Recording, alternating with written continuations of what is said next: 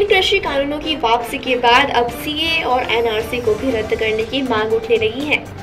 सबसे पहले इन कानूनों को रद्द करने की मांग जमीयत उलेमा हिंद के राष्ट्रीय अध्यक्ष मौलाना अरशद मदनी ने की थी और अब इतिहास उलेमा हिंद के राष्ट्रीय उपाध्यक्ष मुफ्ती अरशद कासमी ने भी इन कानूनों की मुखालफत करते हुए कहा कि इससे देश के मुसलमानों को कोई लाभ नहीं है, इसलिए इन कानूनों को रद्द कर देने चाहिए। मुफ्ती अरशद कासमी ने कहा कि कानून ऐसे बनाने चाहिए जिससे देश में रहने वाले लोगों को इसका फ़ायदा हो, न कि ऐसे जिनसे उन्हें नुकसान हो।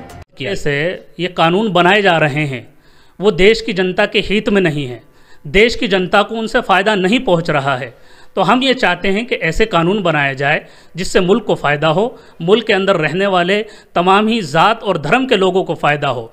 और जो है अगर ऐसे कानून बनेंगे तो कोई भी इस चीज़ को नहीं कहेगा कि इन कानूनों को ख़त्म किया जाए। जिस तरीके से कृषि कानूनों को लेकर ये लंबा आंदोलन चला है और सी ए को लेकर लंबा आंदोलन चला है, अगर इस इसी तरीके से कानून बनते रहेंगे, जिससे मुल्क को नुकसान होगा, मुल्क के अंदर रहने वालों को नुकसान होगा तो ज़ाहिर सी बात है कि आंदोलन होगा और उसको ख़त्म करने की मांग की जाएगी और सरकार को जो है ख़त्म करने पड़ेंगे। और अगर जो मुल्क के हित में होंगे और जो है लोगों के हित में होंगे तो बिल्कुल नहीं कहा जाएगा उनको ख़त्म करने के लिए। सरकार बनाए, मुल्क के हित के लिए बनाए, मुल्क के अंदर रहने वालों के हित में बनाए। बिल्कुल कोई भी आवाज़ नहीं उठेगी उनको ख़त्म करने की। तो सी एनआरसी से भी ना तो किसी मुसलमान को फ़ायदा है, ना मुल्क को फ़ायदा है, ना मुल्क के अंदर रहने वालों को फ़ायदा है।